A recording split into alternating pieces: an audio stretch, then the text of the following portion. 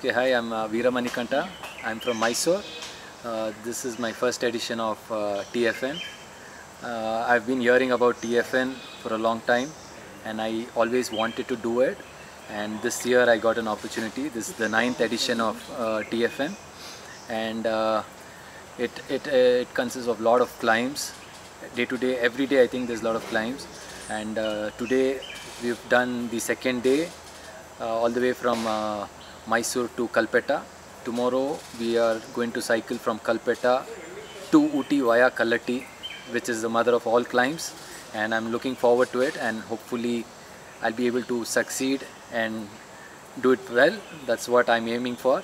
After I think uh, Ooty, the other part of the tour should be pretty easier, but uh, there's still Valparai, the last day, which uh, I think after Kalla- Kalhatti should be easier.